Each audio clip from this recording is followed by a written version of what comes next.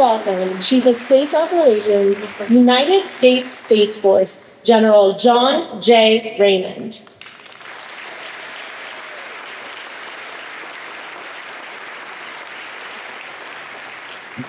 Good afternoon. It's, a, it's great to be back on the central coast of California. Representative Carbajal, Senator Padilla, Representative Lieu, Deputy Secretary of Defense Hicks, and Vice President Harris, thank you for joining us at Vandenberg Space Force Base on this historic day. The United States is the world leader in space, and Vandenberg has long played a critical role. The first polar orbiting satellite was launched here in 1958. The first GPS satellite was launched here in 1978. The world's first commercial spaceport started operations here in 1996. Space operations training and education for the United States Space Force begins here at Vandenberg Space Force Base, and Vandenberg is the home for our command and control hub, ensuring all joint and coalition warfighters have the space capabilities they need to accomplish their missions. Today, Space is essential to the daily lives of every American and billions of people around the world. Space power enhances every instrument of our national power and underwrites the design of our joint force.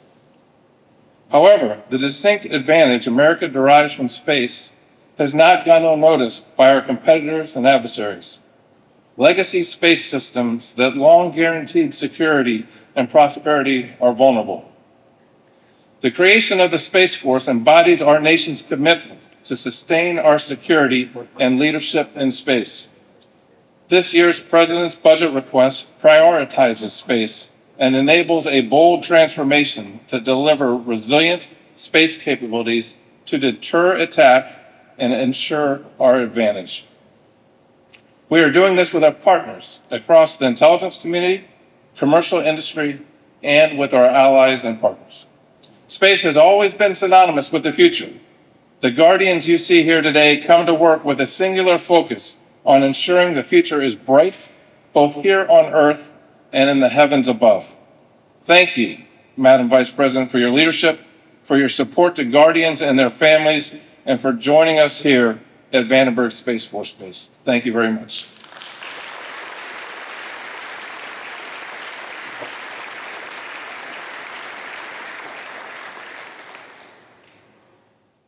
It is my distinct pleasure to introduce the 49th and current Vice President of the United States, Kamala Harris. In December, I convened the first National Space Council meeting under our administration.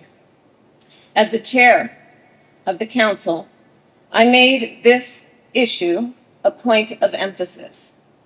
I believe without clear norms, we face unnecessary risks in space.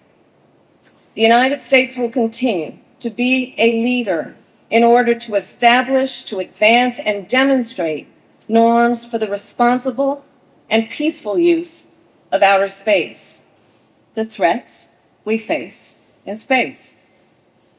This is why our administration has proposed the largest single increase in our military space capability in our nation's history.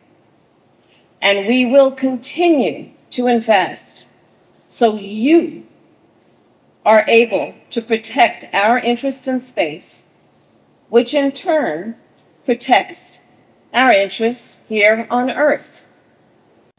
One example is the Artemis Accords, a set of principles that will guide civil use of space. They are designed to create a safe and transparent environment for space exploration, science, and commercial activities. Since our administration took office, we have doubled to 18 the number of nations to sign on. In recent months, you have heard the President and me talk a lot about defending international norms and rules rules and norms are shared principles that guide the behavior of people and of communities. They are common understandings of what is right, what is wrong, and what is acceptable. Whether it is the way we interact with our colleagues at work or the way nations interact with each other on the world stage. Rules and norms provide us all with a sense of order and stability to establish new rules and norms for the new challenges of the 21st century. Areas like emerging technologies, cybersecurity, and of course, space.